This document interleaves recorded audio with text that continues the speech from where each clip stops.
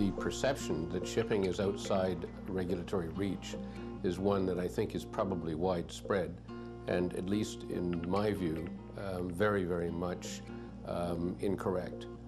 Uh, the regulation of shipping is an international matter.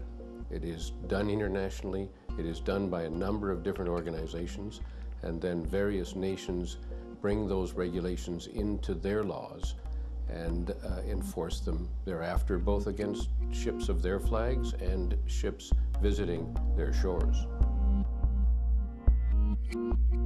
The International Maritime Organization was established by the United Nations in 1948.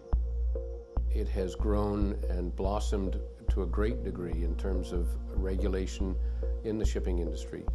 It has 169 country members and a number of other consultants and non-governmental organizations who uh, attend as observers or attend in order to provide information and advice.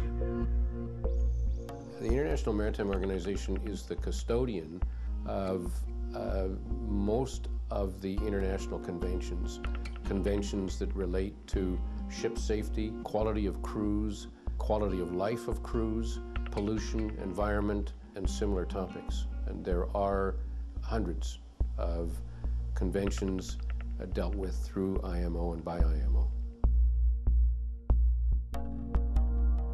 It's a great shame that the world, uh, many people in the world um, unfamiliar with uh, aspects of shipping have uh, reached conclusions that, that flags of convenience, as they are called, are places of no regulation or places where ships might be hidden in order to avoid regulation.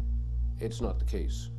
The motivation for going to a small state such as Liberia or Panama for registry is, is not really today based on a, an attempt to avoid regulation because that's just not going to happen.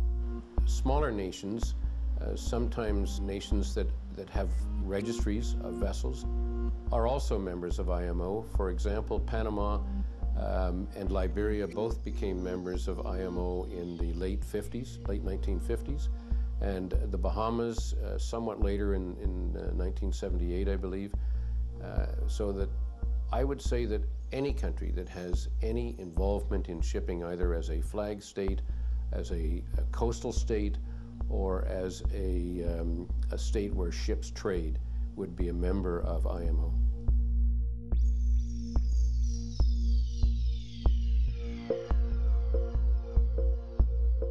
Port State Control has been a very effective um, program uh, designed uh, to do exactly what the words suggest. That is, control of ships at the port state as opposed to the flag state.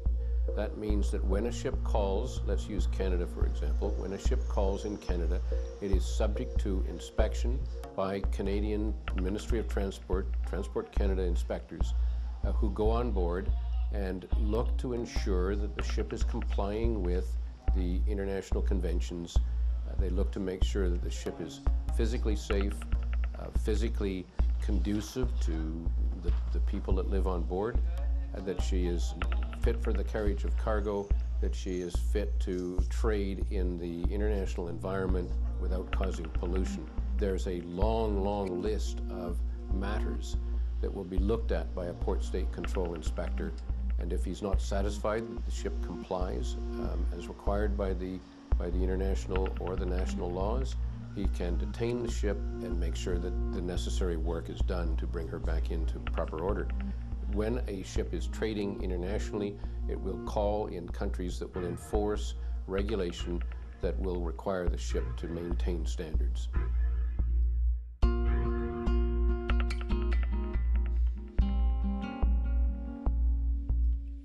Classification societies are organizations that develop and enforce rules with respect to the construction and maintenance of, of vessels.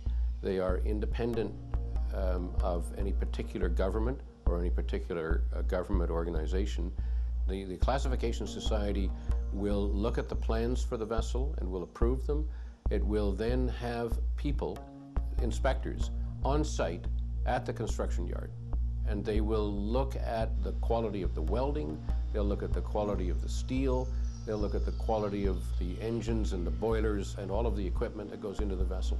And each step along the way must be approved by the Classification Society inspector.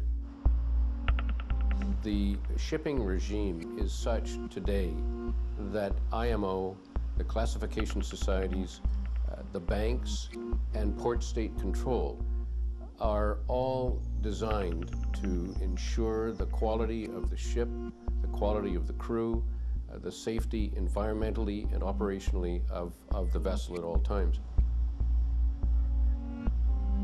Promulgating laws is relatively easy because most nations are concerned about um, ship structure, ship crewing, and the safety of the environment and, and the world's oceans. Since 911 particularly, there's so many extra regulations in place. Like most people don't realize that every ship that sails for Canada, every single shipment on that vessel has been declared to Canada Customs 48 hours before it leaves, so they can be checking into things.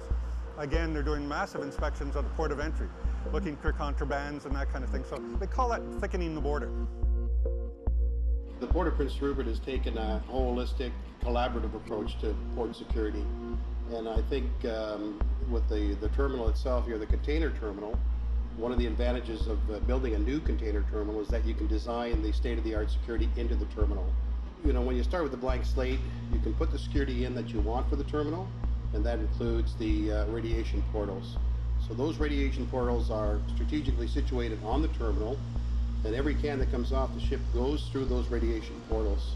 The information that they get when they when they do the scanning goes back to Ottawa, where that is screened, assessed, and if there's a, a trigger or a concern, then that can can be pulled to the side, inspected, opened up. But that's just one piece of the security that we have here.